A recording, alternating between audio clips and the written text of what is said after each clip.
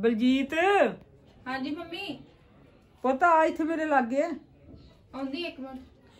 ਅੱਛਾ ਇਦਾਂ ਕਰ। ਆਪਣੀ ਨਾ ਹਾਂਜੀ ਮੰਮੀ। ਆਪਣੀ ਨਾ ਮੰਮੀ ਨੂੰ ਆਵਾਜ਼ ਮਾਰ ਲੈ ਚ ਲਾਗੇ। ਕਿਉਂ? ਆਹੋ ਮੈਂ ਪੈਸੇ ਫੜਾਵਾਂ ਉਹਨਾਂ ਨੂੰ। ਚਲੋ ਠੀਕ ਹੈ ਮੈਂ ਲਿਆਉਣੀ ਆਵਾਜ਼ ਮਾਰ ਆਹ ਲੈ।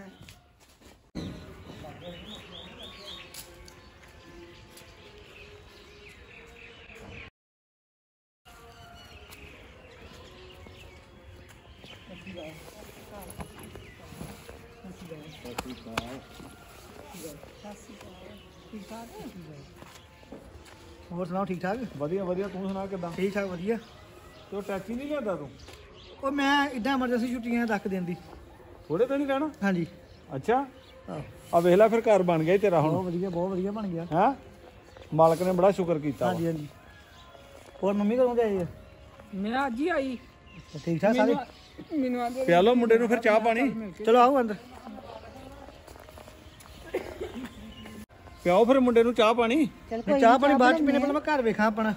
ਅੱਛਾ ਘਰ ਵੇਖਣਾ। ਆਹੋ। ਆ ਵੇਖ ਲੈ ਪਾਣੀ ਵੀ ਨਹੀਂ ਪੀਤਾ ਤੇ ਘਰ ਦੀ ਲੱਗੀ ਹੋਈ